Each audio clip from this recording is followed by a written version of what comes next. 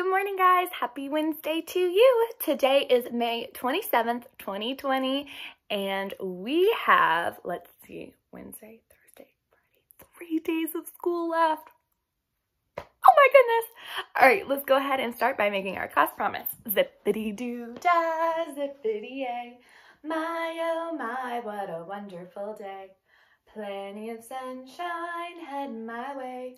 Zippity doo dah, zippity. We are in control of our body, our voice, imagination, concentration, and cooperation.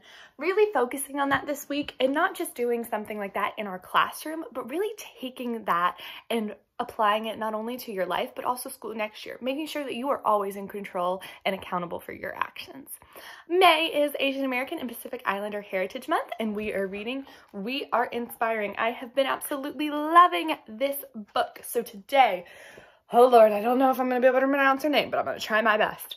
Amanda Fing Bodhipakaiya. I think that's right. She's got a long, long last name. And she was born in 1989. And she is a Thai Indonesian, Indonesian, excuse me, American artist, creative director, and neuroscientist. A neuroscientist is kind of like a brain doctor. Amanda Phingbodhipakkiya was born and raised in the suburbs of Atlanta, Georgia. Hey, that's the state south of us by her Thai father and Indonesian mother. She calls herself a neuroscientist turned designer. Amanda studied Alzheimer's disease at Columbia Medical Center before she switched to a career in graphic design. Her multidisciplinary art aims to bridge society and science. For example, she created Beyond Curie, an award winning design project about the amazing yet overlooked women behind STEM research, and Atomic by Design, a fashion line for girls inspired by the 118 atomic elements elements. I almost said elephants. So remember, in Beyond Curie, Marie Curie, she was an amazing women scientist that we talked about during Women's Empowerment Month. So Amanda was inspired by Marie Curie. What a cool connection. She's been a TED Mainstage speaker twice and won the 2016 TED residency. I wanted to share the rich history of women driving society forward with the next generation. Very, very cool. So we were talking about the word of the month, inspire, and Amanda definitely inspires me, very similar to Teresa, who we read about yesterday, because they both just didn't do one thing. They went after and achieved a ton of different dreams. So Amanda, she was not only an artist, a creative director, a fashion designer, she was also a neuroscientist. And even though those different dreams might have been very different, because you may think an artist has nothing to do with being a scientist, but she thought, hey, I like both of those things, and so she did both of them. So that's very inspiring to me to go after all of your interests, even if they're different. So that is how a famous Asian American and Pacific Islanders inspire me.